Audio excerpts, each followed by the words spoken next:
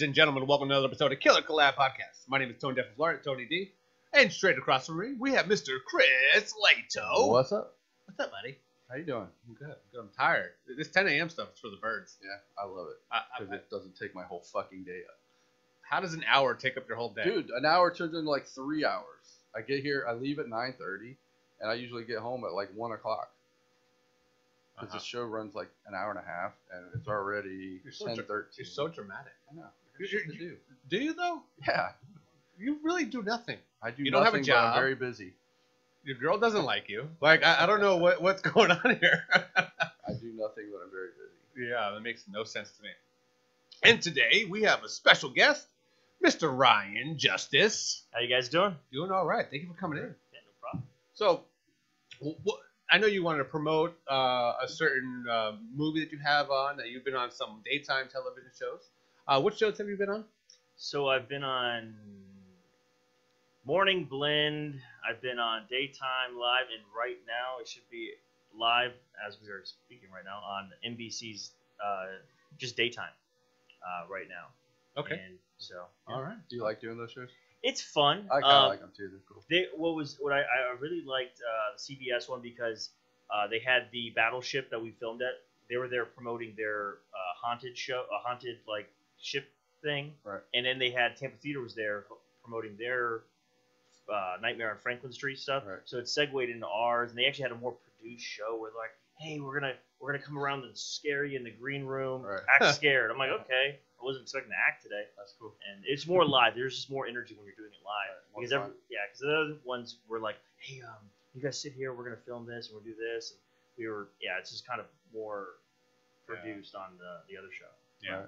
See, live, um, I guess it because it passes time more. And it also, like, it doesn't feel like you were there for a long time. Like, because it passes, there's a lot of things going on. It's like this, this, this, this.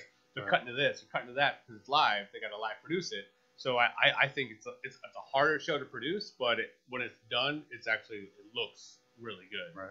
It looks more genuine, I think. You know Yeah. what I mean? have That's what it crowd. felt because we the one we were doing on Friday that's airing right now. Uh, they had technical difficulties, so they pushed us. So we're sitting there on the couch while they're interviewing uh, the author from that new Netflix show, youngest or sorry, luckiest girl alive. So they, they were doing they were doing all these press things that were supposed to be scheduled after us, but we had to sit there and kind of listen to them. And then the um, the guy from Thirty Rock, big teeth, smiling guy, he has his own like kid show. And so they were they were piping in and saying, "Hey, you guys just man waiting. We have to do these. These are timed." Right. So we're like, "Okay, yeah, we'll wait. We'll just listen to him." And then there was a guy from we that. Bachelorette. I guess it was uh, on after us. The new Bachelor. Yeah, the new Bachelorette. He was, I guess, he's in the top ten. His name was Jordan. So there was a nice little mix of people there. Uh, the last few, like all doing the, the different morning shows. Yeah. So it's kind of cool to see all the the local celebrity people. Huh. Interesting. Very cool. I don't know why they would, like, crunch all that in one, like, Segment. yeah, like, Right. little time period. Like, Yeah, it's one episode. That's, that's whole one whole show. So it's yeah. wow. Yeah. Wow. Pretty cool. How so long is what are you promoting? So uh, the movie uh, that just came out came out September 30th is The Wild Man. It's kind of a Bigfoot thriller horror that we shot right here in Tampa Bay. Very nice. We, we, we don't get any uh, big time like we, we don't get like a lot of movies. Well, we get a lot of movies, but they're all like lower budget. Hallmark. Yeah. Um. So when we're bringing in like larger movies, which we're trying to attract, uh, what do you think is like the biggest hurdle that you have to jump over to bring like s- such a project here to take care of, take on? Well, I think the biggest thing is once again like, what all filmmakers deal with is finance, Money. Yeah. uh, money. Uh, you know, we shot this movie during the pandemic. Um, it, you know, when when every the world shut down in March 2020, uh, me and my other kind of creative team, Sean Michael Gloria, and my other co-producer Ian Lange, and we were like, well, we're not doing anything for a few months. We have no video gigs coming in. Uh, let's take the time to start building business plans. Let's It's funny because that's what we all like. We made two movies during the pandemic. Yeah, we did. We made Naked Cannibal Campers and Zed's Dead. Yep. And it was just like small, one location type stuff, and it was actually really fun. Like we had a good time doing them. yeah, we were reaching out to, you know, emailing all those AFM contacts and all the different things, you know, the people we had met uh, earlier in the year, that year before everything hit. Um, the Jobber Brothers hosted a, a local networking event uh, Hacking Hollywood.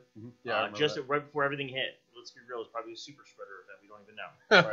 Uh, so Probably. you know, met some contacts through there, and we had everything ready. So we sent a bunch of pitch decks to a couple different investors, and at first they're like, "Oh, those may be too big of our budget. What else you got?" I'm like, "Have you ever heard of the skunk ape?" And they're like, I, "I'm hearing you wrong. Are you saying skunk ape?" I'm like, "Yeah, skunk ape is the Florida Bigfoot. Uh, we had this project we've been kicking around since like 2014. Let me let me put something together. I'm gonna send it over to you." And you know, uh, they liked it. They're like, "You guys can shoot this in September." I'm like, "Yeah." And uh, just like you know, Ernie Hud- Ernie Hudson, yeah. If they ask you if you're a god, you say yes. Mhm. And so if they say you can shoot it by September, you say yes. Yeah, right. um, Absolutely. Uh, so that's one of the biggest things is like uh, we put it together pretty quickly. Uh, that was with the help of Film Tampa Bay and all those people. They were able to give us bigger locations set in stone. Um, and then we had the creature designed by Derek Garcia, who works on Doom Patrol. His brother just got an Emmy uh, helping uh, work on Vecna and Stranger Things. So they weren't working like a lot of people weren't working in the Yeah. country, and uh, they were able to. I, let him have a lot of creative control. Like, hey, this is what we're trying to do. Here's some like images. We want to make this thing scary, original. Um, maybe Bigfoot Bigfoot enthusiasts might not like the way we went with it uh, creatively, Right. but I think it's pretty scary. If you saw it in the Florida woods, you wouldn't want to have a beer with it or Oh, yeah. snap into a Slim Jim, but you would you would run from it. Um, and so that's you know we, we put that all together during the you know pandemic, and you know it was you know we had a a decent sized crew and cast. We, Right. we checked temperatures, we wore masks as much as we could. Um, we tried to be as safe as possible. Well, it's the best you can do at Very that time. Yeah. Because there was a lot of scare, a lot of fear uh, about that time. Like there was a certification that we had to follow, uh, that we had to get, like a certificate to do, like. Uh, Yeah, our certification on Naked Cannibal Campers was: Do you have COVID? Yeah. No. Okay. Do you have COVID? No. Okay. Let's make a movie. Yeah. Yeah, and it was it was a cool thing because uh, you know, yes, we were trying to be as safe as possible, um, but also we were employing people right Yep. during this time. You know, we, we gave people, we gave actors, you know, their you know uh, money. You know, we gave crew money to you know, work come work for us, um, and it was it was cool. We got to you know filming in Plant City, filming these huge you know big locations, MOSI, Right. USF Camels, battleships, all this stuff. You know, we were able to give that money into the community. Absolutely. Super cool. What's Yeah. your plan with the movie now? Like I know you did a you did a little premiere Yes. last weekend. Yeah, so we just did our kind of one of our last real public screenings um, in Tampa. Uh, the hurricane kind of screwed us up. We were supposed to have it on the 29th, the day leading into the digital release. We had to push it another week. Right. Um, and now it's it's out there on Amazon, Apple, Google Play, everything like that, and then to rent and buy. And then I think at the end of this month, we're, we're planning a double feature screening in uh, downtown Plant City, like a midnight showing, um, partnered with. What's uh, in Plant City? They have like, a, like a they have like a, theater or something? they have like a last uh, a last Friday Halloween event where I guess they have like they expect like five thousand people to be out there. Oh, and we're gonna set up tables and maybe sell some Blu-rays. Oh, that's cool. Uh, and then they're gonna they're gonna do a do our movie at midnight because it's a little less Is family it like outside or inside? I guess it's outside. you got like a big blow up screen. That's that's that's the word. That's cool. Um, the other film Sounds that's sh- uh, they're they're showing with ours is The Beast Comes at Midnight. That uh, yeah, yeah. also Uh, Pre- uh, Michael Prey was also in um, with Eric Roberts, and that's going to show before ours. Um, so we both filmed kind of in Plant City, at, in Lithia area, so that's why they're kind of putting our films together. It's funny because I think we're trying to get McKeever on the show, and I Yeah. was like, hey, wait, let's just get Ryan Justice. He just released a movie too. yeah, I, I talked to Todd, uh, Todd and Ed are pretty cool, so I chat with them a little bit. Um, yeah, so that and then we're, we're planning on we're, we're actually nowadays it's what's frustrating is you know four years ago our first feature followers had a DVD release, theatrical release, Right. all through the distributor. Now you know cutscene four years later we actually are producing Yeah. our own Blu-rays and uh, we should hopefully they'll be ready in the next couple weeks. Start promote, you know, because I think Bigfoot enthusiasts really like you know physical uh, stuff. Yeah. We did we did some media. D- we did Yeah, some horror D- people that like physical media. Right. so Yeah, yeah. That's what we pray. Like we, that's our fan audience. Don't say you prey on. Well, I'm, I'm just saying that's who we we need those people. No, Yeah. that's really one of the few ways you can make money now Right. is by selling. Well, that's why DVDs. the conventions are so popular because people are able to Right, get people like are there to memorabilia, Blu-rays and DVDs, stuff. Blu-rays, posters, uh, just in general, like like movie movie stuff, like just from the movies or Right. action figures, um, stuff like that. yeah, we've had a lot of fun. I, I, you know, I what I like about the Bigfoot movie is like we have a lot of fun marketing things that we can do. We were able to take um, our Bigfoot uh, around s- downtown St. Pete last year after our cast and crew. We took him around University of South Florida in Tampa last week, kind of doing some viral marketing, taking photos with all the students. It was really fun. And then um, we, you know, we put on the suit one more time. We went in a world of beer, and the, the manager was like, "Oh, can we get a, you know, a big uh, crew uh, employee picture?" I'm like, "Yeah, it's go cool. We're gonna put in the newsletter." So the things that you can do with a horror film, you can't do with like a, Right. a Or the drama comedy. or- Yeah. a drama unless you know there, there's something to it where there's there's uh, there's some fun aspects to marketing that you can do. And us having the monster suit, uh, the only downfall is it only fits that person. Oh, So wow. Tim Bettinghouse, who um, not only was our gaffer on the film, is our Bigfoot. He's Right. you know uh, he, he- he's not a he's not really an actor. I make him an actor all the time. So time. it's custom made just for him. Yes, Wow, yeah. that's awesome. So we had to go up there about a month and a half before filming to get him uh, up to Atlanta, where uh, uh, Derek's uh, workshop was, and you know get all the blue stuff and Mhm. this and wrapped, and you know, uh, you know he never Tim never did that. Who made the suit? That's Derek Derek Garcia. Oh. So Derek and Eric Garcia, um, uh, Red Redwater, I think they're Redwater. Are they local? No, they're they're in Atlanta. Oh. So they're originally from Orlando. They grew up. They, they were on Sci-Fi's. He was on Sci-Fi's Face Off, and um, they uh, they helped do the Dorothy character on Doom Patrol. Hmm. And they do a lot of really cool stuff. Um, I, I met him through iHorror, Anthony at iHorror, because uh, I'm like, hey, you know, there's a guy you've worked with. I'm like, can you connect us? we're, we're trying to build this really awesome suit. Right. And you know, he's you know walked us through what we were able to do. You know, buying the fur, doing all this stuff. You know, it, he was really into it. So he was, you know, he started sending me like kind of uh, mock-ups of what are you thinking. I'm like, that's cool. That kind of looks like Predator. I dig that. So you know, our monster kind of has a very Predator feel with like dreads Right, right. and Yeah, I've seen gnarly really teeth. Uh, and then so Tim, I Tim, I've been working with for over ten years now, and Tim was, you know, he's the tallest, leanest guy I knew, Right. who I could trust the most. Mhm. And I'm like, you're gonna come up to Atlanta. You're you're gonna. you he's always kind of into that craziness, like once in a lifetime opportunity type of stuff. So he, you know, came up to this Atlanta. His his soon to be wife at the time was like, yeah, let's go. She, she was there, you know, taking pictures while he was getting all this blue junk and wrapped like a mummy uh, to get fitted into the suit. Um, and then two months later, I'm like, I need you to be able to show up, Right. be in the suit, and then I give it 110% running around in the suit, you know, and fighting, killing soldiers and so cool. scientists and people and running through the woods. And he did it. And then, you know, he didn't know for you know two years later. Like, can you uh, go to this trade show or can you can you walk around? Can you walk around. University of South Florida? Uh, you know, because he he uh, he was just doing uh, he was just working on that uh, Vince Vaughn Apple TV show down in Miami for like the last six months. Oh, wow. So I've been waiting for him to come back. So I'm like, hey, I hope you can still fit in the suit because Right. you're the only one that can. Uh, he's like, yeah, I don't know. I've been on set for like a year straight. Hopefully they were eat- I was eating healthy. Yeah. You're gonna find out. Uh, but he got right into the suit. You know, the biggest thing was the contacts. We have these really these awesome hand painted contacts that I was like, man, I hope they still last. They're two years old. Right. I mean, for six hundred dollars a piece, you hope they're Hope they gonna last more than two years. Oh, yeah, so those are the those are always the toughest things to put in. Um, but they they're huge because the take over his whole life. But Oh. those are those. So we we put all that in. Uh, you know, he was able to do that last week. So That's um, cool. yeah, it's What do you do with the suit now? now? It's well, it's actually it's sitting on our uh, the, ma- the other makeup artist is Carl Hoover. Carl Hoover is actually doing some touch ups on it in case we want to take it out one more time Right. later this month. I think I know him. Did- Yeah. yeah, Do it? Carl. Yeah, It was, a, it was a joke. It was a joke. yeah, Carl, Carl did a lot of the um, some a lot of blood effects and like squibs and stuff like Right. that on the movie. Um, and then he would do some touch ups on the mask and the pre because we couldn't bring Derek back for some of the reshoots, so Mhm. Carl would kind of do some touch ups to the masks and the suits and some more blood effects. Yeah, I like Carl. Good dude. Oh, yeah. Um, so what are you gonna do with the suit like after you're done?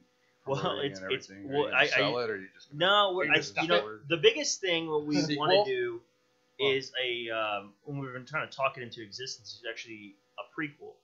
Mhm. Um, when we were doing all the research for this movie, uh, one of the mo- one of the first stories and legends of the skunk ape here in Florida is called the Wild Man of Ocheesee Pond, where this group of like villagers in, in North Florida um, went out and hunted this thing down. They thought it was some man, and they captured it, and then they brought it in and they sent it to the asylum in Tallahassee. And the asylum's like, this is he's not ours, and he ended up, this, this they- isn't a man. yeah, they they it, it, you know years later, um, when because there was like a published story in the New York Times about this this creature or this this person who was hairy and didn't speak English. Uh, years later, like oh that was probably a Bigfoot. So there's a lot of legends around that. So we're actually tying and trying to create a um, kind of a Western prequel. Right. And what's really cool is when that story happened um, in North Florida was the same year that the trains came to Tampa, the train station. So we're building a story around the industrialization of Tampa around. So that's old. That's a long time ago. It's called The Wild Man 1883. That's our Ah. working title. Um, so we'll play on Yellowstone there. Um, but it's it's a cool. Uh, we're mixing a little bit of Ghost in the Darkness um, with Yeah, Predator, and cool also movie. that where we have a, like a posse of you know local Tampa people going out there to hunt this these Right. creatures down because it's it's uh, interrupting the flow and the building of the railroads from Orlando to Tampa, and um, there's some uh, some kind of same themes that we have in our original uh, the Wild Man movie that I like, but this one will open up to not only more action but more um, more Bigfoot. It's obviously not going to be found footage. It'd be No, it'd be a narrative. movie. Yeah, on a, on a, on a- That, that, that sounds like it's going to be a lot more money. yeah, Yeah. yeah. We're, we're trying to figure out how the best way to do it. Um, there's obviously some western towns here, and then there's there's plenty of woods. Dry Creek.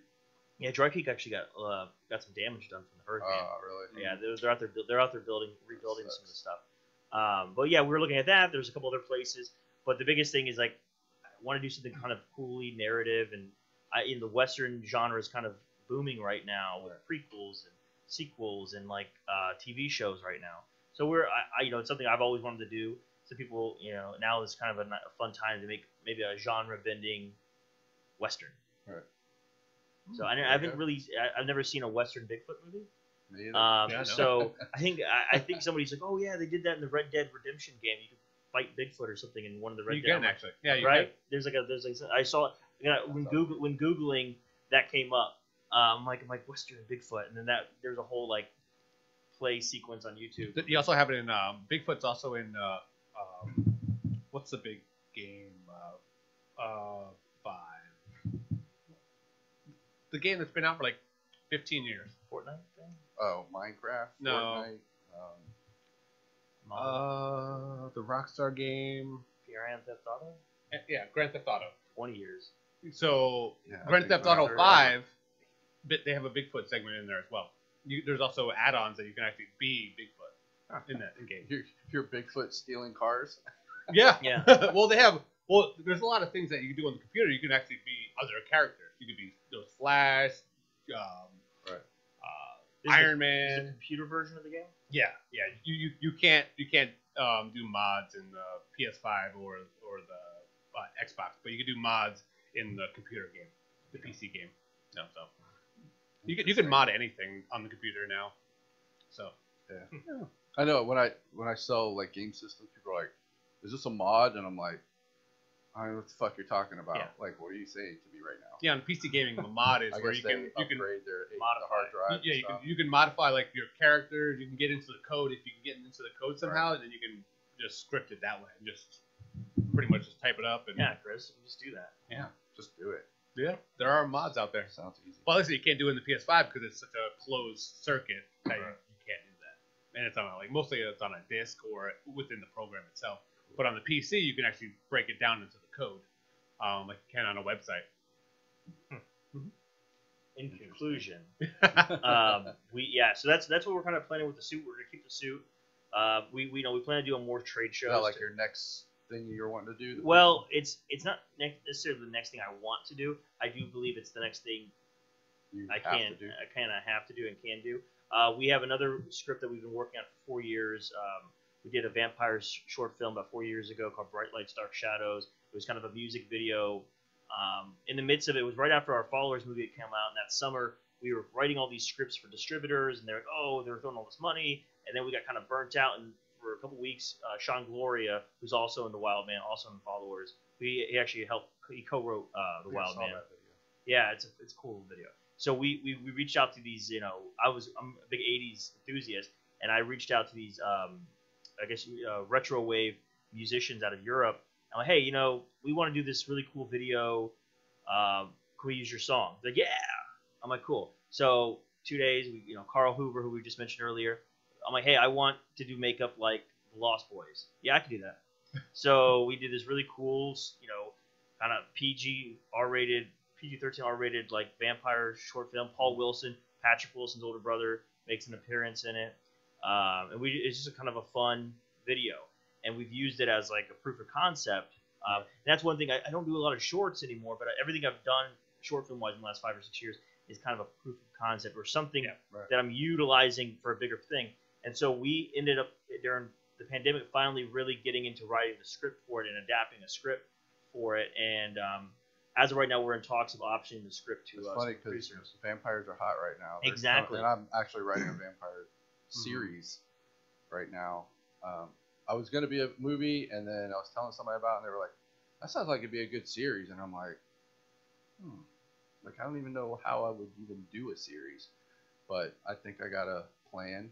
Oh yeah. Keep it under our budget limits, and got a couple people excited about it. So Yeah, I mean, there's, I mean, God, I didn't even know the. Um, obviously, you had an interview with the vampire show that just came out, but the Let the Right, I didn't know there's a Let the Right One In TV series yeah, that, it's that coming just out. launched. Did it just come out? I think so. I didn't even know out? that was coming yeah, out. it's on Showtime. Um, I started seeing ads on it. I'm like, I'm like, is this for the movie? I'm like, Yeah, is it's a and then and series. it's the series. Yeah, Uh, I'm actually excited so- to see that. We were, you know, we're trying to do something, and we'd like to shoot it locally, but uh, we, we may option the script. We have, you know, we've been presented a contract to give the script to uh, some bigger producers, um, but we, you know, we're kind of, you know, we have to make that choice probably in the next couple weeks. Right. Um, but that's another project that I would love to direct and produce right here in St. Pete because it actually takes place in Miami in the 80s, and we're, you know, we'd love to keep it here, but I think, um, I know, that's the thing. Sometimes you, the next movie you make is not necessarily the movie you want to make. It's the movie that uh, just presents itself. presents itself. Because I didn't think I was going to be doing the Skunk Ape movie. We actually put it off for a year or so at the time because I was like, well, do we want to do another movie like that, or can I make something else? But in the end of the day, sometimes the investors show up and like that one. Yeah. Right. He's I want okay. that one. Okay, cool. I guess that's what we're doing. And in pandemic, we're like, let's do it. Let's just go do it. Um, so it just it just depends, you know, uh, on what presents itself. You know, we have a couple of different projects we've always wanted to do. There's some new things that we're trying to write. Um, it just kind of everything just you hope kind of comes together. The creative team, my creative teams, you know, you, you try to keep everybody together and creating, keep moving forward. Hey, you know, let's let's go look at this script. Let's keep it going because you know, it, you can blink and it's another year. Blink another year. Shoot, I mean, we were we wrapped the Wild Man two years ago this week.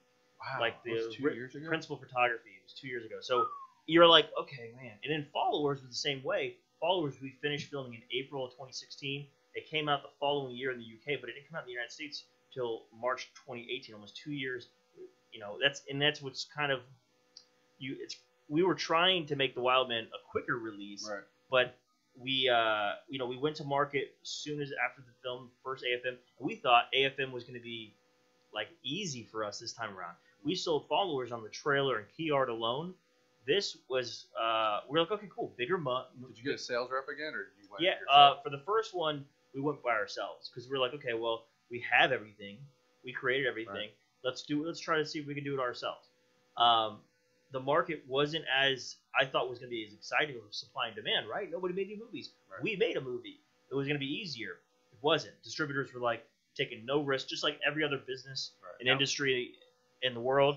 Nobody wanted to take any risks. So we took the time that uh, January, February, got the money back from the city of Tampa, and like let's go make the movie better.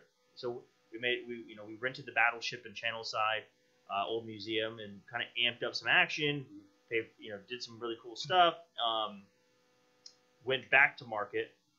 Uh, it played at Popcorn Frights in Fort Lauderdale that uh, summer 2021, and then we had our cast and crew, and then now AFM is coming again in 2021, and so we decided to go with the sales agent then, who had sold our first film, and we had some offers for US, and they were less than we got for followers, What? and I'm like, Wow. man, this doesn't add up. This is this is you know I was a business major for about a year and a half, but this Yeah. still doesn't add up. Right. You know, like I'm crunching these things. I'm like, all right, well, uh, what we learned from our first one is the MG is all the money you might ever get.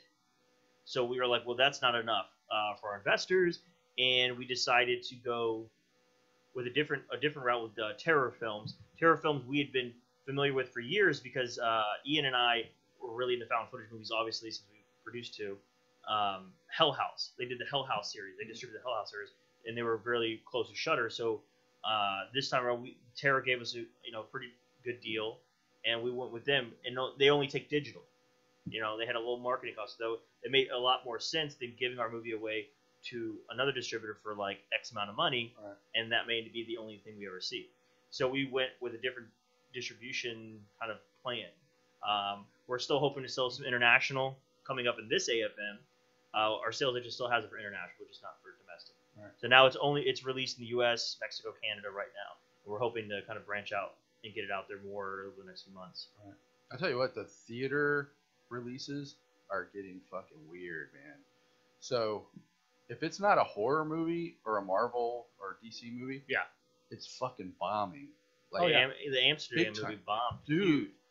I was. I, was, I mean, it was- Amsterdam, Christian Bale, Margot Robbie, John David Washington, um, Anya Taylor Joy, Chris Rock, like this, Mike Myers, Taylor Swift, But- Zoe Saldana, Rami Malek, Robert De Niro. All these people are in this movie, and it made six million dollars over the weekend.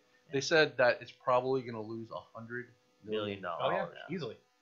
Yeah. And then you got Terrifier two. yeah. who they only released one showing, one showing per night over the weekend, Friday, Saturday, Sunday. Only played at seven o'clock, and I don't even know how many theaters there. were. There couldn't have been. I, I heard. I heard eight hundred. Eight hundred theaters. It Yeah. made- It made one point two million dollars. A two hundred thousand dollar movie made one point two million dollars. Yeah, they made like 400 the opening night. Because it, it was um it was playing in Look Cinemas where we were doing our screening, Right. and I'm like, oh shoot, Terrifier two is gonna be playing here. Yeah. So and then like they, the reports came in Friday morning.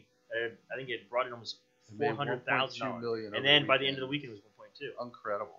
Yeah, it's it's it's tough, and and it's the thing. Like I was supposed to go see Amsterdam on Thursday night. I'm pro- Yeah. I, I will probably see it this. Yeah, I want to see it. It's just Uh, it's it's tough crazy. because you know I'll be honest. I went by doing the USF viral marketing and walking around telling all these USF students what we were doing.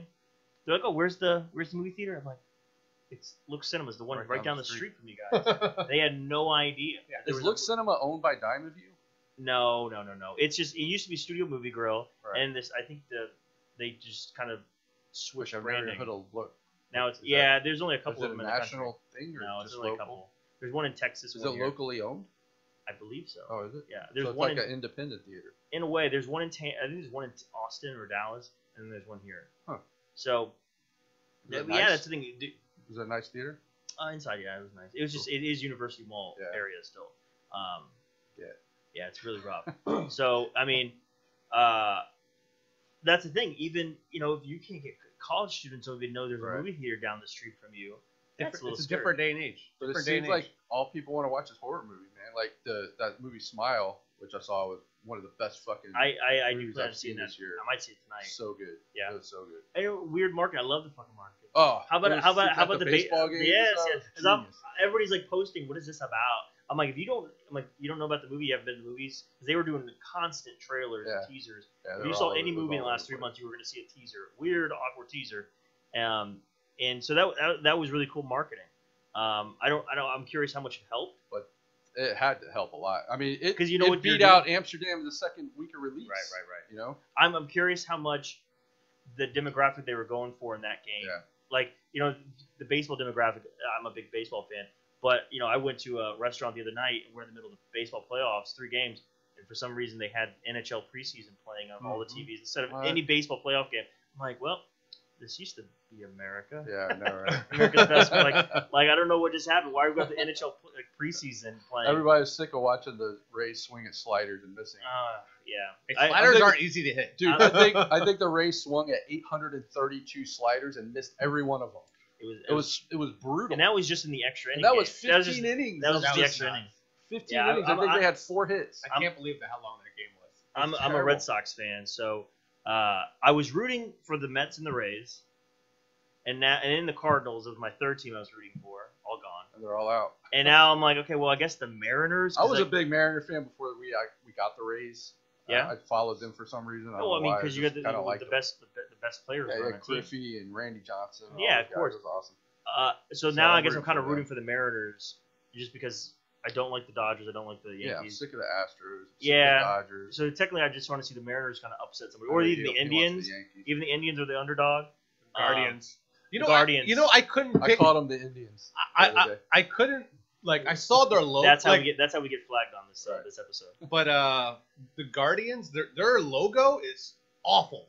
Like, Dude, their name is awful. well, well, yeah, their uniform is awful, But Let's go back to the their Indians. They logo, an like, I, awesome I was like, that's a professional baseball team. Like, it looked like a, like a high school mascot. why is Indians like? No, I don't know. I don't, I don't know why I don't that's understand. I don't, I don't know if we have that much time to go into that, but it's just like I think I, I do think Washington Redskins That was, was yeah. that's That a little bit more. a- yeah, but it. I think there was a, who was is it Bill Burr or somebody? Somebody was making a joke. I can't remember. I was watching it. Like, I, I you think they really care? You think the Native Americans really care about a baseball fun. team? He's like, no, they, they probably just would, wouldn't mind some of their land back. Right. That was that was the thing. Like, yeah, you guys can keep the baseball team. Just if we could just have land. some more land up in South Dakota. Put Yeah, more it'd be great. casinos. yeah, like Yeah, I don't know. It's But I saw their logo and I was like, wow. You, you mean your logo or the, the like the actual well, it's a G with the. right? It, right, right, right. It's like, come on. It is kind of weird. It looks Just like, someone made that on Photoshop or something. I, I like, uh, that's what I think it's tough. 'cause or even PowerPoint. like the Washington Commanders, it sounds Yeah, like it's just weird. it sounds it does sound like it's not right. uh, you know what you would call the team in Starship Troopers or Yeah. uh, you well, know that's the thing. They've been the Redskins since I've been alive, Yeah. and That's over too- 90 years. yeah, and and, 50 and, and years. The, Now the they're Cleveland It's yeah. Cleveland Indians were I mean they, they're some of the longest organizations around. Yeah. So But um, but I think the Commanders went with because it's Washington D.C. Commander in Chief. I think they the, just went along well, the with that. Guardians thing is because I guess there's there it's the Guardian City or something. There's something with they have like huge statues of guardians. Oh, I've never been. There, there's something No, about no, it. Uh, I've researched it, or they were ta- they were talking about it when they were trying to pick the team. the I'm team sure name. Cleveland's. I've I've heard Cleveland's actually a really cool city, but it's like on my list of places to visit. Cleveland is, isn't on it. No. I, don't know. I just It's went like to. Uh, I went to. I went to. I actually got to go see.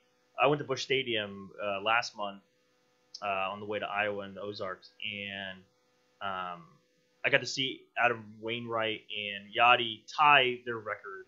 And then the following week is when they broke the Oh, record. you went to the game. Yeah, I was there. I was like, cool. Like it was a noon game, so we flew in. I'm like, oh, cool. It's a noon game. And uh, no, Yeah, there's never a noon That's game. awesome. So we went to noon game, got to watch the game, and then head to the Ozarks. But it was, was it's just, it's really cool going to a real baseball stadium. Yeah. Uh, last year I was at Fenway Park for the playoffs uh, when they won. They beat the Astros and they lost the Astros tragically.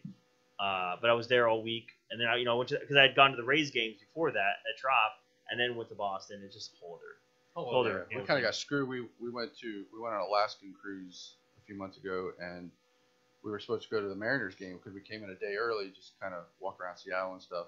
And um, we were going to go to the Mariners Toronto game that night, and our travels was a fucking nightmare, and we just couldn't go to the game. Like it sucked. I was so mad because I really wanted to go to the park. It's a beautiful stadium. I've seen at least I've seen on video. Yeah. I've been to Wrigley. I've been to Fenway, obviously. And it's the so new, cool the because they got Yankee. the the Mariners Stadium and the Seahawks Stadium. Like you can walk across the street. Oh, really? Yeah, they're right next to each other. And I'm like, why don't they do that here? You got Tampa Stadium, you got all that freaking land. Well, yeah, you'd have to take. You're talking about Raymond Just put James. the baseball stadium there. yeah. Parking would be insane. Is- Well, it's Steinbrenner's Field's right there, or whatever it's It- called now. Tear Uh, shit it's- down. Is it- it is It's still- yeah. I'm, I'm thinking what it used to be Yeah. called Legends. And, and the Yankees have a lot more money than the Tampa True. Bay. I don't think they have a lot more money. They're willing to spend more money. Yeah. I don't know. I don't know. Yankee Yeah, Stadium. The Yankees probably got a they're, lot. they're like a, the most expensive franchise Oh, I'm in sure like they all are. of sports. Yeah. Well, not really. I think it's uh, Man, you, who- Manchester Yeah. United probably. Right. All sports. yeah. What about soccer? Well, Cowboys too. They spend so much money. Yeah, Dallas, and they still suck. Yeah, I don't get it. Well, I They haven't get won it. a playoff game since the '90s. Yeah. Is that true? that? Yeah. Yeah, Oh yeah. They haven't won a playoff game Since- since, since- the '90s. Since the They're third switched. switch. Ninety-five. No, not 95, is it? Since There's they no won way. the Super Bowl. The last time they won the Super Bowl, that's the last playoff game they won. Really? I thought at least they did something in the late 90s, like one before Troy Aikman retired. Troy Aikman retired like 1999 or 2000, something like that. Yeah, that's probably around there. Yeah, no. It's insane. So, what is your feeling on? I know you're not a Yankee fan, but Aaron Judge. So, Oh, he's great, man. I love it. I love it. Do you think they extend him? Do you think they offer him another contract? Well, they're definitely I'm- going to offer Like, him how do you contract. not give that guy? I'm whatever he hoping. wants? I'll be honest. I'm hoping the Mets freaking offer him like 40, 50 million dollars Yeah, right. and just steal the market share of New York. in New York. That's that's what I would say. I'm like I'm like he's worth 50, 60 million just to take that market share from the Yankees. right. Yeah, And I, I think he. but I don't think that would ever happen. I, it, They- Cohen Steve, after him. Steve after they just Mets just lost like the way they did. Um, I'm hoping they, they take a swing at him. They- I think they will. I think everyone will. Steve Cohen He's will. gonna I think Everyone but the Oakland Athletics will, will do a swing. I think um, and I think I think the uh, Red Sox are going to take a swing at him. Yeah. Though now all of a sudden Brian Cashman, I guess it came Can out. you imagine Aaron Judge at Fenway Park? He might hit a hundred home runs. Oh, the, the Green Monster, they're going to be re uh, remastered because they're probably more dense in it. Make it higher. Uh, I, yeah, I'm hoping. You know, you know what's kind of crazy is um, they didn't do much when he hit 62. This, you know, it's interesting. I remember 1998, and they you know they stopped the game when McGwire hit it. Yeah. And they had the whole big presentation. Oh presentation. yeah, they had a big thing. and it's interesting that they didn't do. I know it's not the now not the actual league record, but it was the the AL record. Yeah, they didn't right. really do anything after the game. They didn't do any press conference. I know the Maris family is probably a little worn out for traveling for the last the previous three weeks. And like, God, can he just hit it already? I know, right? uh, but I, I was kind of it was very lackluster because I you know I, I remember vividly that summer of '98 and watching every Cardinals at bat those last couple oh of yeah, every the cover of every crazy. Tampa Tribune. So guys, Tampa Tribune is a newspaper. Uh, back in the day, you'd get it on your doorstep. Um, and every morning, you know, the cover of the Tampa, the cover of the Tampa Tribune would be McGwire hitting another McGwire. home run, and had have in the top corner of the count. Well, you got to remember at Yeah. that at that time that that that uh, record lasted Is from it- right. the early '60s. Yeah. So, we're so at no one had ever even seen 27 anything years- like 27 that years. before. And then now we're at 20, almost 20 years since somebody's hit 60 Right. again. Um, that's what I was like. People like, oh, it doesn't matter. I'm like, no, it's a, it is still kind of a a big, deal. Yeah. Now we know he's not taking steroids or taking any type of PEDs, so you know it's a little bit more Genuine. genuine. Yeah. And it's tough because But here's it, the thing, man. PEDs, you still got to hit the fucking ball. Oh, yeah. Like hitting a hundred mile an hour fastball or curveball or sliders Yeah. isn't easy. And yeah, it's and not. that's the thing. They, I, I don't- That's, that's what McGwire used to say. He's like, he's like, I still have my eye Right. hand-eye you still got to hit the ball. uh, and it's it's I tough. could take steroids and go out there and get no home runs. right, right. So I don't. there was plenty of those guys doing that in the '90s that Sure. weren't hitting any home runs. And I'm sure all the pitchers back then when Bonds was doing it were on freaking And- steroids and that's- too. that's what's tough too. Is I, so I went to the Baseball Hall of Fame this year to see David Ortiz get inducted, and you know when I was a kid and baseball was like my life. I remember being like, is 98, 98, 99, 2000, 2001. I'm looking at all the, I remember looking at all the statistics. I'm like, oh my dad, everybody's going to be in the Hall of Fame. Right. Like who's not going to be in the Hall of Fame that's playing right none now? None of them are. Yeah, and none of them are because like everybody had That's 20, 20 home runs, 100 RBIs, bat Yeah. 280 or Right. higher. I'm like, that's that's Hall of Fame. Every your one through five is going to the Hall of Fame, and almost every other every other team. and and then here we are, cutscene. The entire the entire generation has been erased. wiped away. Now, Yep. if you go into the Hall of Fame, they're all in the Hall of Fame at some point. They're in something. So like Bonds is in there within the home run thing. They have a steroid era little thing uh, that kind of shows. They call them. it the steroid era. No, it's it's something like that. Like I, I have a picture. I can't remember what they call it. like they they have they have in the bathroom. they have they have an area for it. Um, but they all are in there. Even like Pete Rose has his hits Right. record in there. They're not on a they're not enshrined, but they are they are they have their own section. Their Bonds is in there. You know, Curt Schilling has his bloody sock in there, but he'll never be in the Hall of Fame. Yeah. Um, there's a lot of those things. Clemens and Clemens. Clemens, you know, I I grew up with Clemens and Wade Boggs on my wall. Yep. You know, and uh, it's crazy to me to think Clemens won't be in the Hall of Fame. If he, you know, he, there's a good chance though this coming year because now they've they've moved on to the the Veterans Association that the Clemens and Bonds could be inducted this year.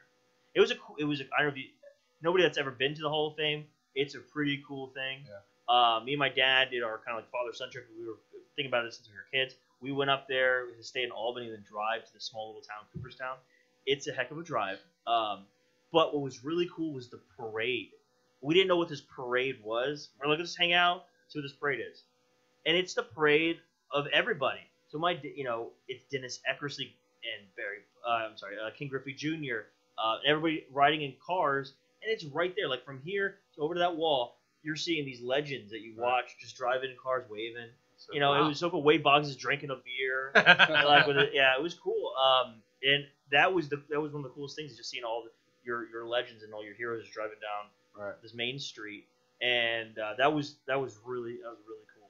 That I mean, the, the museum's only three floors, but um, it takes you like four or five hours to walk it. Yeah. it's a lot. It's just because you're taking your time, you're taking pictures. Like, okay, what is Oh, this? They even had a baseball card area, whole like all about memorabilia, all sport uh, baseball memorabilia. That was really cool.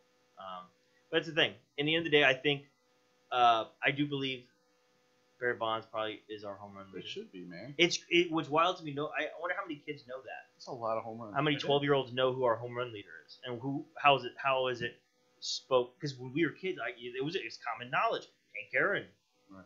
Babe Ruth and Hank Aaron. That's who it is. And then like twenty years later, is it Barry Bonds? Is it Mark McGwire? You know, or is it you know do they just know Aaron Judge?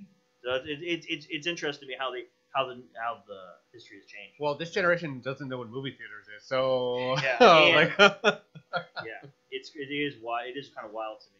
I mean, I you know baseball is is, is always been a part of my life. Um, oh yeah, it I played it. I yeah. played Division One. Yeah. yeah. Um, but like, what do you think the next baseball card is? You know how the baseball all the card? Stuff. Yeah. I don't give me. I don't, I don't know if we have enough time to talk about NFTs and explain what an NFT is. But I, that's interesting to me too because I remember my big um, was once again '98 to like Oh, yeah. 2001. I had all these baseball cards I still have. All the top cards. All, I had, all- I had, I had like the I have like the 99, 98 Topps complete Yep. set. My expen- most expensive card at one point was this Mike Piazza card. It was like sixty dollars at the time. I was like, oh my god, this is how I'm gonna get get into college. kids. He played for the Mets. Yeah, yeah. And the Dodgers. One of the best No, catchers. Now ever. what's what's cool in it? I have the card at the Hall of Fame. They have a section. So do, so I have I have a baseball card. I have two of him on the Marlins. Ah. For the, he was only on the Marlins for like 48 hours. Yeah. So I didn't know this because I thought, oh, this card's got to be worth a bunch of money. So it's the most overly produced Really? card. So they made. He was only on the team for like a weekend. The Marlins before he. So he got traded from the just so you guys he got traded from the Dodgers to the Marlins, and then the Marlins to the Mets, all in like a week. Um, and so they they produced like a hundred cards of him as a Marlin, and they have an own section in the Baseball Hall of Fame showing this all the different cards that they produced of just a couple games that he was on. So I mean, they, they must have had like what took a hundred, a couple hundred photos of him while playing, and every one of those card, every one of those pictures made into a baseball card. It's like crazy. So that was that was interesting little section in the memorabilia thing. Uh, speaking of kids, do you know what Bobby Bonilla Day is? Yeah. That's like one of the most celebrated days in baseball. greatest- Greatest contract of all time. I'm surprised a lot of people other didn't ask for that. A lot of people just don't ask for that. A Well, million, back million in- a year. Right. Well, twenty. year- There's a big thing that came up twenty years because the Red Sox still pay Manny Ramirez Yeah. And because it Bobby was all Bonilla deferred. still goes for another five or ten years. Too. Yeah. That's crazy. Yeah. Nuts. Uh, somebody just, you know, uh, somebody just did an interview. Oh, they, they did an interview with him in Tampa this on Bobby Bonilla Day. Um, local makeup artist. Aaron Judge Graves. needs to do and call it Judgment Day. That's what they Yeah, need to do. I love weird stats and stuff. yeah. So here's one good one. So did you know that the Braves have won the World Series in 1914, 1957, 1995, and 2021, and in each of those years, the Auburn quarterback's last name was Nix. Hmm. That's random. So NIX? weird, right? Nix. Yeah. In all those years. Every single year that the Braves won the World Series, they're so. The Braves should obviously make Auburn like here, draft it, you know, yeah. recruit this guy with the last name of Nix so we can win the World Series. I don't know.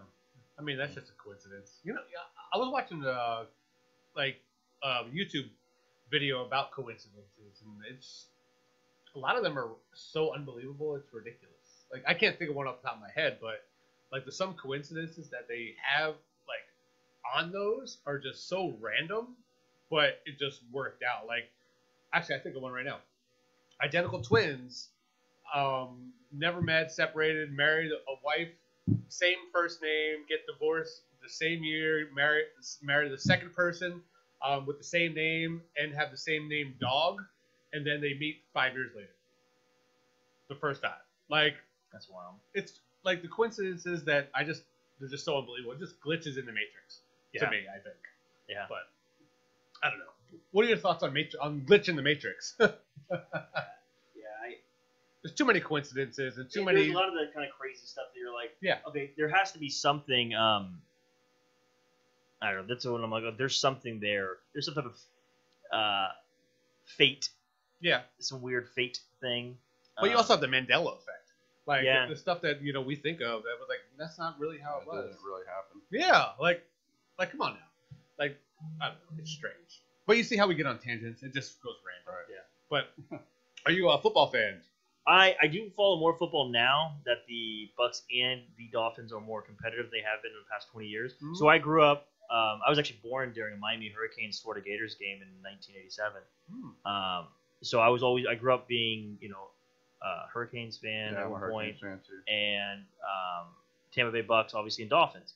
Uh, following Dan Marino, and then following the, the you know the famous uh, '99 Buck season when Trent Dilfer got hurt and Shaun King Yep. stepped in for a, a few weeks and Bert Emanuel. almost let us yeah Bert Emanuel, God, and, and uh, you know that whole that was a big deal. And then watching them when the the Bucks winning the Super Bowl in 2002, and you know that since then, both the, the Bucks and Dolphins Against have- the Raiders. yeah, yeah. Both the Bucks and the Dolphins have really not been competitive since the last few years. Yeah. So it has been really fun. So then you kind of get lost, and then you try to play fantasy football. You're like, you know, who are all these players? I get it gets it's tough. Um, you know, I hope you know it's it's it's tough to follow. Like it, you know, it took me a few years to get caught back up on baseball. So I, you know, I love movies, and then college, when I got to college, it was all about making movies, and I kind of, you know, I was stepping away from baseball. Yeah. As a person that play baseball, it's hard to watch. Just like it's like breaking up with a girlfriend. Uh, once you stop playing baseball, you don't want to watch anybody else play baseball for a little bit. That could have been me. Yeah, it, it. Get, it's a really weird thing. You don't want to watch it. You don't want to see anybody play with it. Um, and it took a few years away. Like I, I, got away from baseball for a few years, and then um, just focused on making movies and like movies in college. And then you know, then the Red Sox won like 2007 to 2013, and about 2014 is when I got back into baseball, kind of following it every day, playing fantasy baseball. It really helped me like kind of get back into it. But um, you know, it's tough football. God, like I, I have to, I, I go back, I go and I research. I'm like, when, when did these guys switch teams? When did they do this? When did they do this? And it, there's just so much turnover in quarterback. It's hard to follow all these different players. And then they're in and out of the league so much quicker now. Oh yeah. Um, you know, it's tough. I, I mean, I, I hope the Bucks keep winning, and I, I wish the Dolphins uh, get their quarterback back. Did you watch that back to baseball? Did you watch that Nolan Ryan documentary? No, I want to. There's a couple. I haven't watched the Don Madeline one. I've heard a lot about that one. That's really so good. here's a trivia question: How many Cy Young awards did Nolan Ryan win? Zero. Zero. Like, why? That's what that, that came up. Somebody was talking about it the other day, and that blew my mind. So, But he was he was always one of those like ten and fifteen. right. You know, he'd have ten wins, fifteen losses. Yeah. You know. So one year when he was with the Angels, the team won 79 games. Okay, that's fucking pathetic. He won 21 games. He broke the all-time single-season strikeout record that year, and they gave the Cy Young to Jim Palmer. yeah, there was a couple of seasons that he should have won it, and that's why. But that's what's great about this new Hall of Fame is they're digging into those numbers, like uh, the Jim Kaats who just go, who got in finally. Uh, they're breaking these like they, these guys were amazing, but because they were playing in such an amazing era, Right. that they got overshadowed. Like Yeah. You know, everybody had twenty, you know, fifteen to twenty wins like at one point. It's funny when I was a kid, like everybody hit over 280, pretty much. If you batted under two fifty, If you had under 250, you were a catcher, not playing. Yeah. you were you were a middle infielder, you were Walt Weiss or somebody, or you're you know you were you But were even really those you were, guys- yeah you were really you were a really good defender. Even those guys were hitting like 270, 280. They were stealing bases. You know, like Robbie Yeah, when- Thompson. When Jim places like Abbott has a better batting average than Joey Gallo, yeah, right. like that's when you got to start thinking. You're like, now all it's just like, Yeah. these guys can't hit. Like, is the pitching that good, Yeah, or I is the so. hitting that bad? Well, you got to think. And It's do you like in bel- and do you football, think everyone's it's a lot 'cause- stronger. a lot- Um, the, they uh they train a lot differently now. Right. Um, and they train a lot longer now. yeah, uh, I think that so all the a lot of- analytics Yeah, yeah. has ruined baseball. you like, know you got guys in the sixth inning throwing a no hitter, and they're taking them out of the fucking game, and I'm like, what are you doing? Why would they do that? Mm-hmm. Like, I don't understand why they would do that. because I oh, do, Oh, he's on a pitch count. Like Well, Nolan I- Ryan threw a 14 inning game. He threw 14 innings, And the guy played till he was 48 years old, and the only reason why he quit was because he got injured. Yeah. And it's just like, You know, I mean, he may be on a you know one planet, thing that I, it's I just- it drives me nuts over the last like five when they're talking about the, the time of the games Now they were going slow. Nobody ever talked about is why the games were going so slow. Is that more people are striking out, Yeah. and like oh yeah, I'm like that's what slows down the game. Sure. When you're not making contact, but you're pitching, you have to pitch three to five pitches, a, uh, a at least at least you're talking that's that's three or four minutes. and you're Like, fouling off yeah, balls. a ten pitch at bat can be five minutes. Right. Yep. And people never talk about that. I'm like, well, people made more contact. The game may go quicker. Right. Yep. Instead of, you know, that's the thing. Nobody talked about that. I'm like, well, that's the thing. Why? Why you don't need a pitch clock if, if people actually make contact? So is that's it better pitching or just bad hitting? I I think it's really you know high speed hitting. But you see, I see Vogelbach in the Mets, and he's fouling off hundreds, hundred mile per hour pitches. I think it's it's a mixture of what what do people pay for? People pay for the home runs. home runs. They want to see home runs and RBIs. People like the But I ball. think I think this whole next year with the shift, shift going back to normal should be a little bit more exciting. And know it's crazy is no one in the major leagues can bunt. Yeah. I'm like, I do. I got down third. I do gotta- a double. I do got to give it up though. Christian Arroyo, who plays with the Red Sox, who's actually he went to he played at USF. He's from Tampa. Um, he bunted several times to the Red Sox the last few years. Yeah. I, every time I see it, I'm like, yes, I love. I love seeing a good bunt. These guys are a good shifting. like, I love a good down sack third base, bunt. you'll get a double Juan, every time. Juan Soto bunted the other day in that Mets game, and it was like it was it ended up being just a sack bunt. Right. But it, they're like, yeah, if he bunted a little bit over there, would have been a hit. But it was you know the, the best player in baseball decided to bunt the other night. but they just can't bunt. Like Yeah, I've seen so I- many guys, and they get up there and they're just like, oh, Like, Oh, they look it drives crazy. me nuts. You, want- you want look to like a, a You know what? little I saw I saw a prof, you know professional baseball oh, player Oh, holding the bat like, like this. this, Oh, and I'm like, oh my god! I want to know who. I, I remember I remember I took a picture of it on my screen. I'm like, what were they thinking?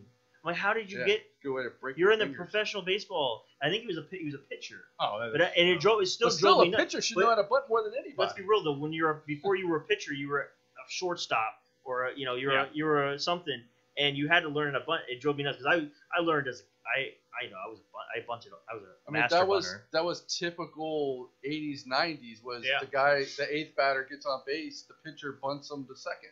Yeah. I, I mean, it's sacrifice bunt. It was like common all the time. Yeah. Now these guys can't bunt worth a shit. Like if they had to bunt, I, they can't do it. And that's what that's why It's unbelievable. I'm like, how are you a million dollar player and you can't even bunt a ball? You know in Japan. Did you guys see that they have the bunting challenge? They have a bunting derby. Dude. Yes, yes, yes, yes, yes. It's awesome. Uh, they were they were showing it um, every time the, the home run derby comes around. They show like highlights of the bunting derby, like derby, and it they have like they have like um you know like point systems for distance. You got to bunt it. towards a yeah, like if you spot. and, and That's if you can drop it in this area, it's like hundred points. And they have like a, they have a competition for bunting. when I was a kid, we used to have little. My coach used to put like rings down on the and just challenge everybody. We would have to bunt in those little rings. That's- That- that's where that- I learned how That's to what bunt. they, that's what they do in Japan. They have like an extra competition. I was ten years Mid-season. old doing this, like bang, and just getting my- into those. My circles. dad had me bunting, practicing bunting when I was like eight, nine, ten years old. By the time I was twelve and thirteen, I was I was like, my dad give me the he gave me the sign the bunt. It actually is belt, belt B bunt belt. Mhm. Um, and I would I'd bunt. indicator, Yeah, indicator. Yeah, indicator. it's like when I was a kid, I could bunt down first, I could bunt down third. Yeah. You know, like and it was like it was stu- it was for like me it was lost art. automatic, man. It was it was like I, I had a couple really big bunts in like all star games and stuff that like they would throw it down the line, really big bunts. big bunts, man. They could count on me, Had the game winning bunt. but yeah, it's it is a lost art. Definitely a lost I like art. big That's bunts why- that cannot lie. But it's probably more the egos in these players that Yeah. they're like, I want to hit a home run. I don't want to bunt. Oh yeah, Yeah, and let's be real. We had at 12 years old, there was a lot of And I those think kids. that's a, Oh yeah, I think that's another thing why there's so many strikeouts is everybody's just swinging for the fence, man. Like it's oh, it, just- it is it is gut wrenching It's for anybody that's ever played the game to watch your team is down one run. Just the and you Rays, need a base like, hit, like Randy Arrows, or, a or, I, can't, Rosarena. I watched that guy swing for the fence, and uh, and all they got It's like I need to see the guy was on the somebody- first, and there was a guy on first. I'm like, just get him over, right. get him over, Randy. They don't play like that. I'm like, just get. They're get selfish. And that's what the Rays used to be was pitching Oh, and yeah. small ball. You know, Yeah. bunt the guy to the second, get a you That- know that's what drove me nuts. base I, hit, get watching the home. playoffs, I'm like, oh my god. Like I'm like you just you get you need one run. This the whole the, the whole first game. I mean that's what playoffs are. It's like one run here, station to station baseball. Right. And that's that's that's who So wins. basically, what we want to do is get Moneyball back. That, that's what that's what we're saying right now. That's what the Rays were built on, man. Like, we didn't have. Well, we got your, hitters. we got the other Moneyball guy with the Red Sox. And now we have Chaim Bloom. Um, it's funny is that most of the best the GMs in the major teams are all Rays guys. Yeah. Friedman, uh, Bloom, and They're it was, genius, man. there was the other, there was, there's a third guy that out there I think that was a Rays uh, GM at one point. genius. Their system is farm team. Bring them up. They become superstars. Trade that guy in the middle of the season for five more prospects. Yeah, yeah, yeah. Wait and till then it's develop their- them, and Well, it's oh. just a constant. It's basically what Oakland did too. It's just a That's literally constant- Yeah, Oakland's Oakland's kind of sad because like you, you you'd hope they would do a little bit better, but they had to get rid of everybody. Yeah. But I mean, their whole salary, the whole salary pool is like fifty million. That's it. Like that's all. That's, that's all they're going to spend on Right. baseball players. That's all they need. It's the same thing. Well, with I the Rays. think if they all could need. get if they get ever get a new stadium, they're never gonna get it. No, No. the city's never going to give them that. The Rays It's wild because they're gonna leave. They're gonna Yeah. leave. It's, it sucks. All those teams are gonna leave. That's like uh, eventually the Rays will have to leave. Well, they don't make enough money to to justify a stadium, and they're only putting a salary on for fifty million out there, so they're not bringing any exciting players, so they're not going to sell tickets because they're not bringing anything exciting. Stadiums just a It's- piece it's- it's a- shit. I Like, think it- nobody it- wants it- to it- go it- there. Well, people I mean, wanna go- actually, what The people- area people wanna- sucks. People want to go there. I don't know if they want to go there to watch baseball. That's what's frustrating. I go there and I feel like I'm at a I'm in a I'm in a mall. Well, you see Yeah. how close it is to the Everybody's Giants eating. Yeah, in it's the like food a mall. court. Exactly, it is. I, I don't even sit in my seat. Sometimes I go and I'll just sit in center field um, instead of going and sitting in the seat because nobody wants to sit and watch the game. Right. It's weird. It's a weird. I got in an argument with somebody because I'm like, all right, here's the thing. So the Rays came in what 94, 98. 98? Okay, 98. We get a baseball team, and it takes a while to build a fan base. Mm-hmm. Okay, and the problem is, is people like yourself, you root Yeah. for who? The Red Sox. You're a Red Sox fan. Yeah. You are who? Yankees. Yankees fan. You both live in Tampa, but you root for teams that aren't from here. Well, because I'm So- not from here. The people that are from Tampa, there's not many of us. Yeah. Okay, I was born and raised here. There's not many of us.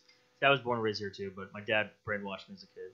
Right. So, and like I said, I liked the Mariners when I was a kid. Before we got a team, I liked the New York Islanders when I was a kid.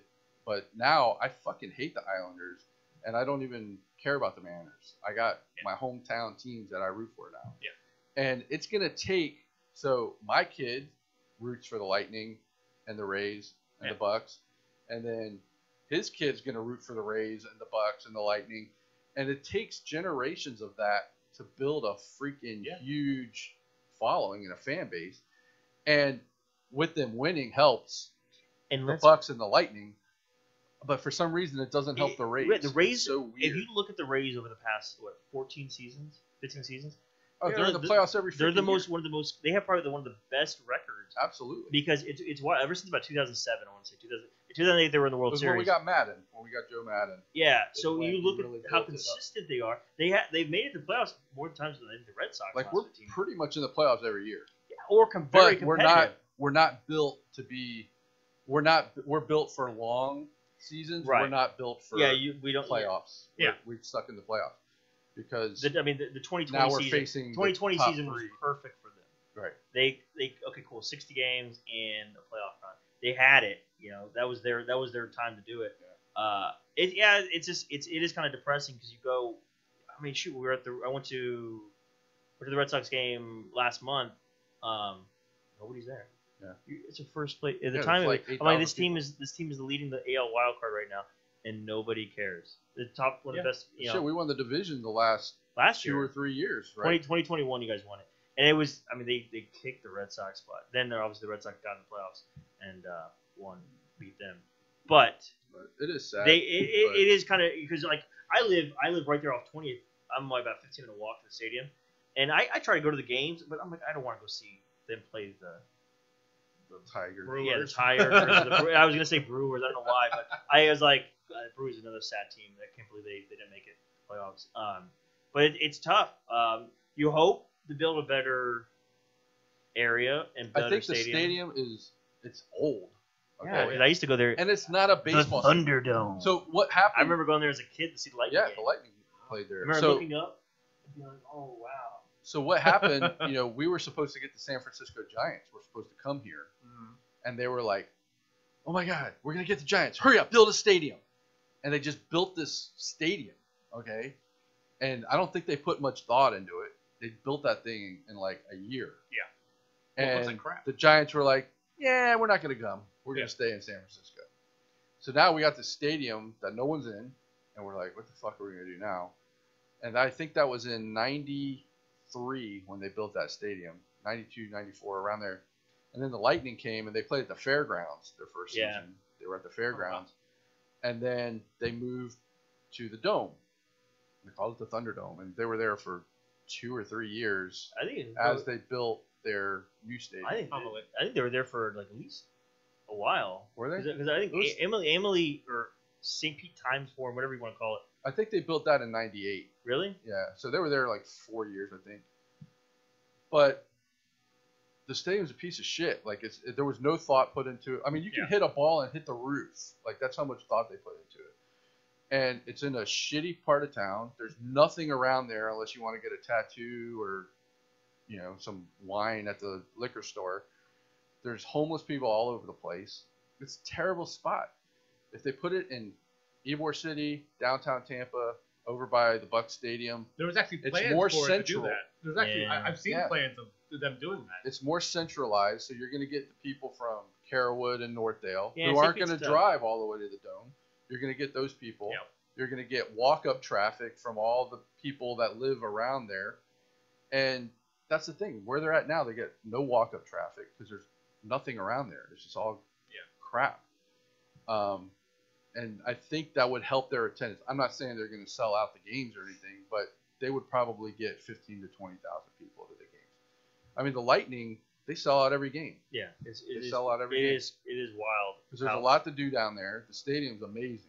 Like it's such a nice. But they're not going to spend money like Tampa. The city is not going to spend money on the city if they on, on a stadium if they can't guarantee Right. that like fund Well, it. something's going to happen because the new the new uh, mayor of St. Pete, Yeah. he don't want them there. He doesn't want the stadium. there. He wants to tear that down and build um, housing for lower class or you know Lower lower lower, income families. 'Cause, I mean, there's condos going up, and up like crazy right there. Yeah, so he It- wants to tear the stadium you know, down it- and make it's it crazy lower 'cause they, income housing. they keep building up that area around the stadium, uh, but in the end, of the day, it's gonna be. I think it's too late. Yeah. Uh, it's almost too late. They think so too. uh, because it, it, I mean, everything keeps changing right there. They're flipping little places out of that that little block of area. I mean, Fergs is there and some of the other places, but Yeah, there's a couple bars or yeah. I, I mean, I, I like it. I just going to that stadium, it's not it's fun. depressing. It is a little depressing because I remember my first. I mean, those were my first games. My first game was a Bar, Bar, Baltimore, Baltimore Orioles game.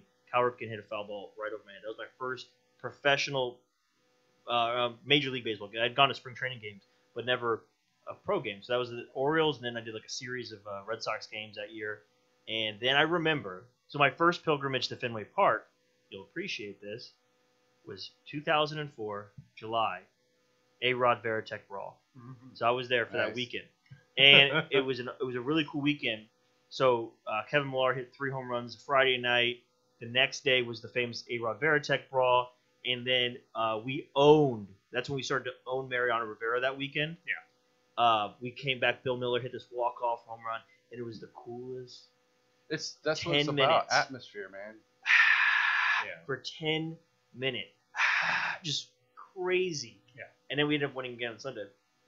Nomar it was traded like five days later. Uh, I bought a shirt. I'm like, my dad's like, we can, we maybe get traded. I'm like, I gotta buy the shirt. Still have the shirt.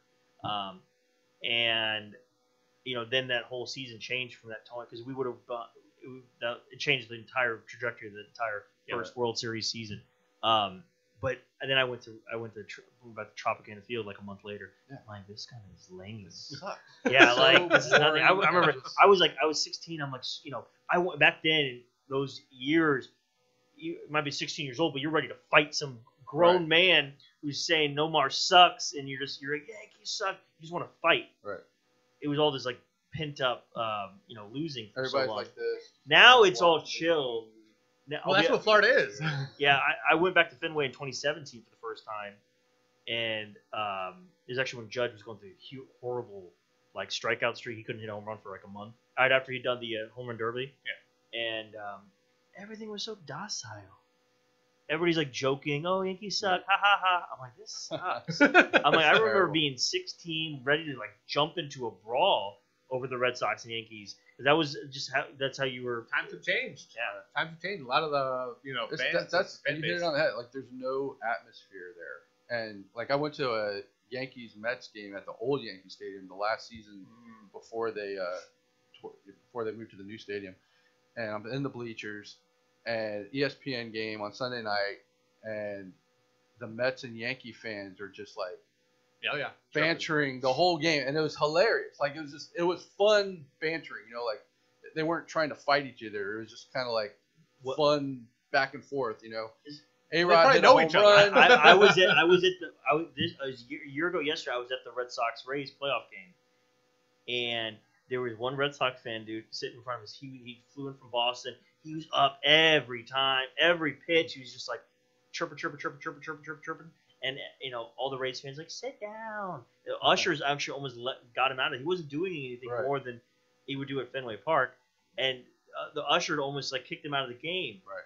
for just like being a kind of Not uh, a- uptight. a very enthusiastic Red Sox fan. Right. Every pitch, he's like, "Come on, come on, yeah!" You know, he's just, and then they were almost kicked him out. And I'm like, "No, no, he's fine. He's just, just actually doing Being something at the game. Being a fan yeah. is, a little bit. Uh, it is. It's, probably it's jarring the atmosphere. The atmosphere of that Yankees Mets game was so fun, and I'm not a fan of either team, but I got cheap tickets, and I was gonna go with my cousin, and um, and just the announcer, you know, the Oh, way yeah, he yeah. sounded, the old Yankees announcer, and A Rod hit a home run, and like it was just so fun going to that game. And then um, I went to uh, Raleigh, North Carolina. I went to a Durham Bulls game, and I walked in the stadium, and I'm like, this is a fucking baseball stadium. Like, holy shit! Have you ever been there? no, If you ever get a chance to go, it's the coolest stadium of minor league baseball ever. Like, Really? it's so cool. It's amazing.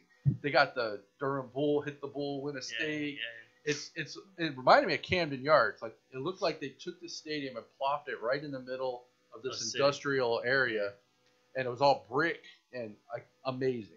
It was it was so much better than our stadium, and I'm like, this is the Rays minor league team, and their Right. stadium is better than the major league team. It was Yeah. crazy, but it was a great, it was a beautiful stadium. Like it was amazing, and uh, you just felt like you were at a baseball game. You know, And, and that's another thing like is like, I remember hearing back in the day it was like, is that in Tampa people do not want to drive 30 minutes to go do anything. no. That's another thing, right? You could have a, a great musical act going on, like ah, it's 30 minutes away. Yeah. But in you know other big cities, 30 minutes is that's what they have to do. L.A. Oh yeah, it's 45 minute drive over to that side of town. I'll be there. and sit in traffic for But- 45 But here, nobody wants to cross a bridge. Right. Nobody, Yeah. if you don't, oh well, yeah. I, that's what I do tell people. I think Go, it's knowing that if there's an accident on that bridge, you are screwed. yeah, yeah, is- You are sitting there for an hour, and it's like, do I want to take that risk for the Rays? Nah. and and we, we are blessed. I always tell people, you know, people that like, oh well, I want to move. I want to move out of Florida. Florida sucks. I'm like, Yeah. oh my god, we are so blessed here. I love There's it. sports teams.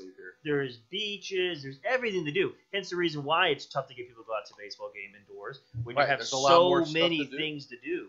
It's Right. not. We're not in St. Louis where it is about baseball. Right. That I mean, that was a it was a noon game I went to, and it was packed. I'm talking.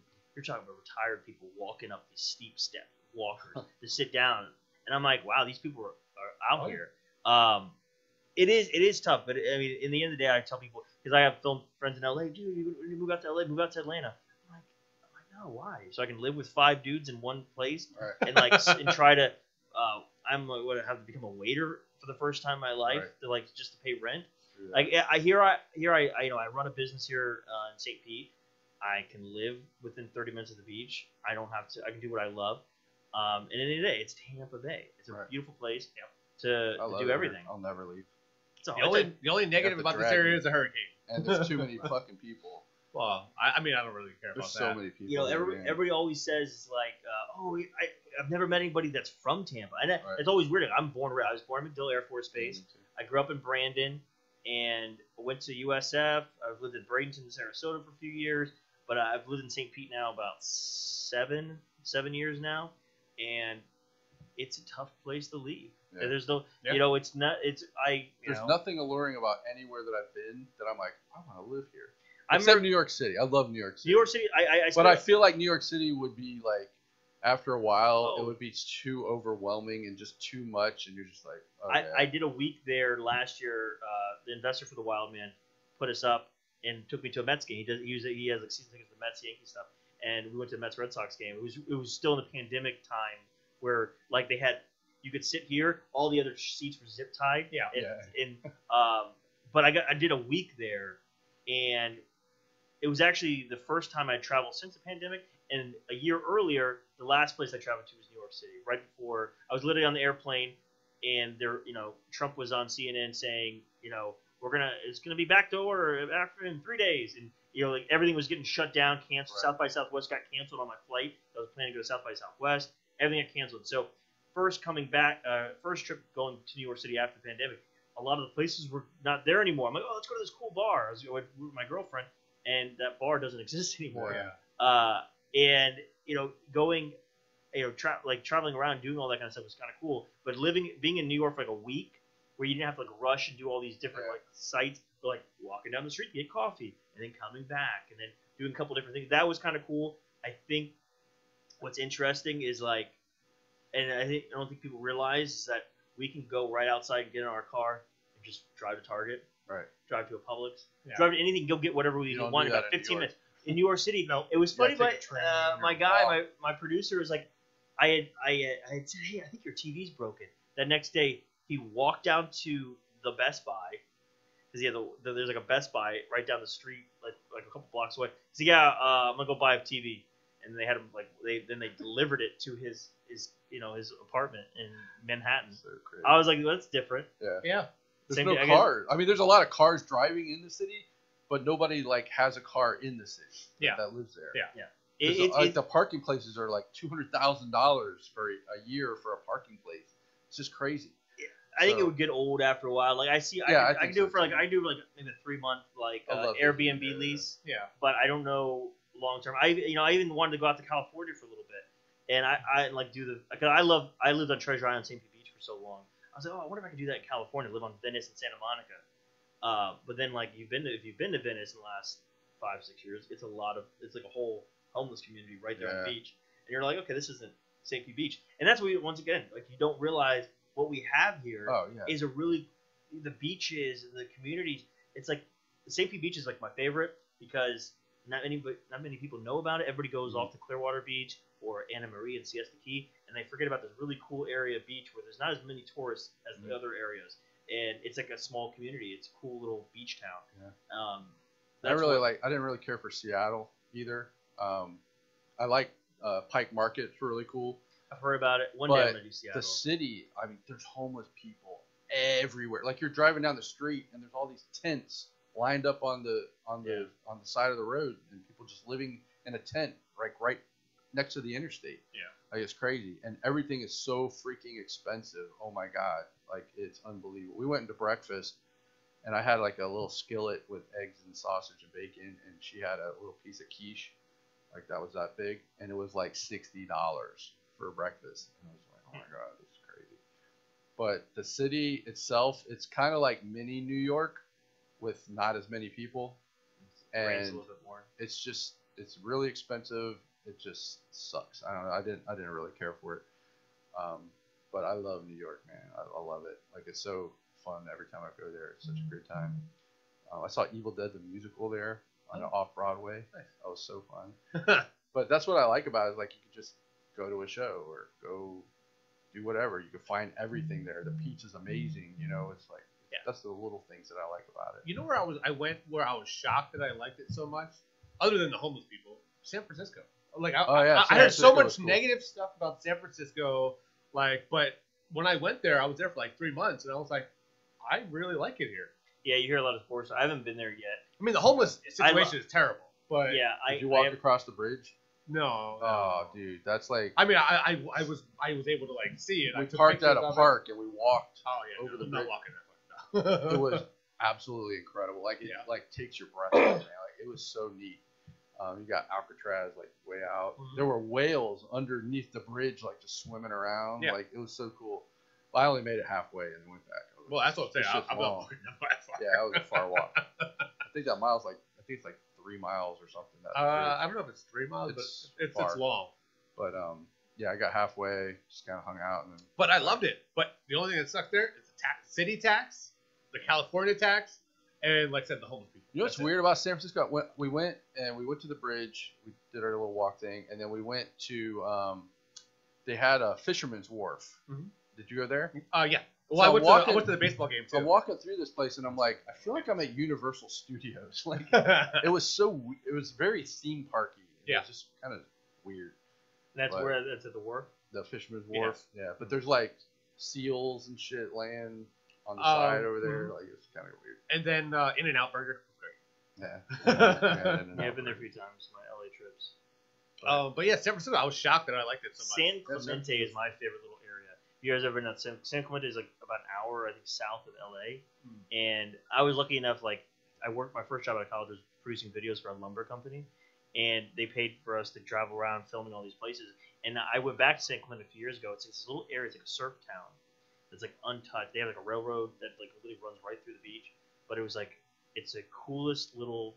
It looks it's so nice because you have the houses up on the mountains and stuff right on the beach. Yeah. it's like a surf town, and that's that's a gorgeous little area. But I know San Francisco is on my on my bucket list to go, and I, I've Really been to nice. San Diego Like I said, real quick. It, it's like the homeless people is like my only like because I walked a lot in San Francisco, and you just see a lot of homeless people. So the worst place is Portland, Oregon.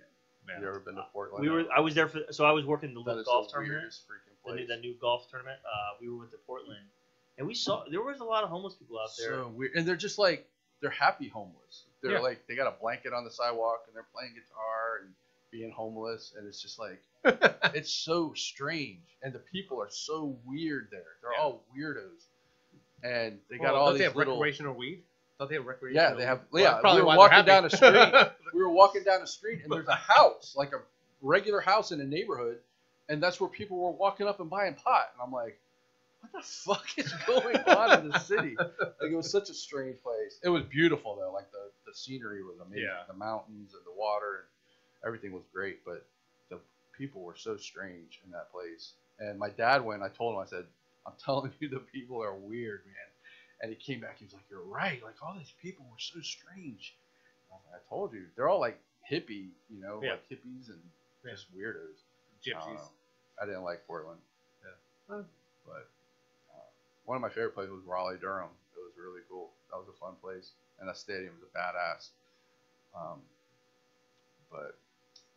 Another cliche city, Nashville. Like I, I've never been to I, I Nashville. loved it. I Loved it. It's, I mean, it's getting it's so commercial and so touristy, but I, I loved it. Yeah, my girlfriend leaves for Thursday to a bachelor party. Her second bachelor party in Nashville in like six weeks. What? Um, yeah, Nashville's wonderful. it's a big bachelor destination. Yeah. I, I've been I've been in Nashville like three times for there's a big film conference there called FilmCon.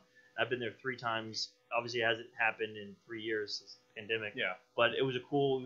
The, the whole uh, film Nashville puts it on, and it's really cool. They take you to all these. They have different like, they have their own like, um, almost like a MOSI museum, like a big IMAX that they do like a night there, and they have these huge parties. Um, Yeah. and then they have this. It's a huge, a whole week thing. That's what I've been up there for those things, and they they take they, they took all the VIPs around to like the different bars and jazz clubs. Yeah.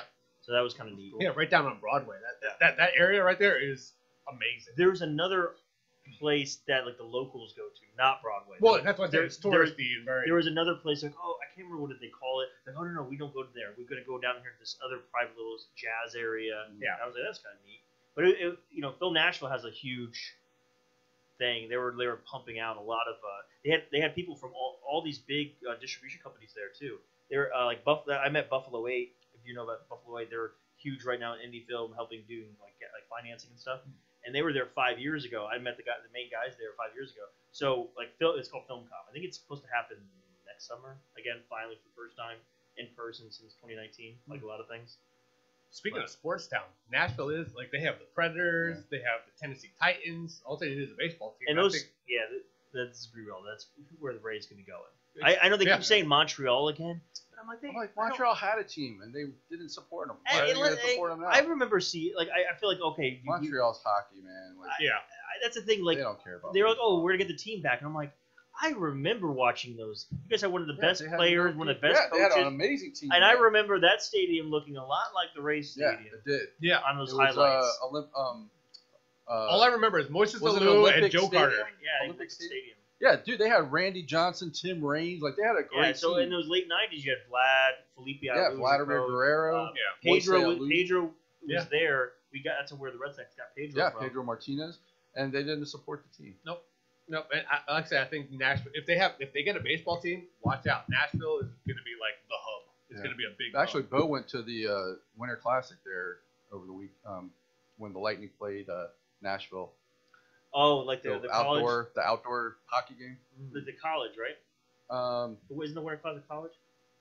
No, no, it was the outdoor hockey game. Yeah. Um, they had an I don't know outdoor where they- hockey game. yeah, Yeah, they have one every year, the Winter Classic. Uh-huh. Yeah. Huh. Every year they have one, and uh, he went to that. He said it was really fun. So it was cool. They put it in like a, a I think they played it in Tennessee Titans football stadium. I think. It's it is it's right there on the water. Yeah, I mean, yeah. they Yeah. put it in a big stadium. yeah. It's and right, play like outside. that's right on the water. The Tennessee Titans. Yeah. But like I said, that area is like, like I said, if they do get the baseball team, if they get the Rays, like I think that's going to be like they have literally that'll be the entertainment. It'll be entertainment capital because, like I said, with the music, all they need is movies and to get catch a big following, and then now they have sports, and I think because I when I go there, it's Predators this, Predators that, Titans here, Titans there, like it's crazy. It's like Philadelphia, basically like They don't have basketball, do they? I, I don't. They're I don't know. No, but they got they got a about million they got a million college football. And Yeah. college, Oh yeah, College Ten- there. University of Tennessee, Tennessee. yeah. right, was it Tennessee, Tennessee, Chattanooga. Vanderbilt, is out- Vanderbilt. is out Yeah, there, right? Vanderbilt's there. So they have a lot of they have. I mean, they have a lot of sports. That's what I when it comes to us, you know, Tampa. I'm like, well, we have all these sports, Right. you know, um, but nobody really do they choose who, who they want to support. There's just too many things. You know how it was kind of cool about the film com Nashville? I didn't know they filmed a lot of the uh, Ernest movies No, Really? there. Uh, yeah, like uh, one guy I kept meeting there every year was like the was like a banker who helped like uh, do the financing for all the Ernest movies. He was he I guess he's like oh yeah I was I did a couple cameos, but I helped fund all the like, the, uh, like several of them. I was the banker who signed the checks do the financing. That's funny. Yeah, that, that was that was his little claim to fame in Nashville. Di- Didn't Jim Varney die? Yeah. That's why they don't make any Ernest movies. Well, I, I, well, I, what was saying now? I mean, a lot of people retire, but like that's you know, like it's just like the Pee Wee Herman guy. Like, He's seventy. Pee Wee Herman's 70 years old. Yeah, it He just just he, it was just his birthday a couple weeks ago. I was like, wow. I mean, he was around in the 80s. Yeah, That's when he I, you got start big. adding those numbers, yeah, that makes sense. Um, yeah, he just turned seventy, I think, in the last couple weeks. now you know somebody your own age. Man, that's crazy. well, ladies and gentlemen, thank you for joining us on Killer Collab Podcast. Ryan Justice, thank you for joining us. Chris Having me. Lato. Go see The Wild Man. Yeah, it's on Amazon, Apple, Google Play, and if you have Tubi, you can watch it on Tubi right now. Nice. Send them some links and we'll put it in the Yep. comment. in the description. Oh, and I, I forgot to mention that uh, our $50 film school is out. Oh, So if you ever want to make a movie under $3,000, buy our film school. It's 40 bucks right now, and we'll put it in the comments.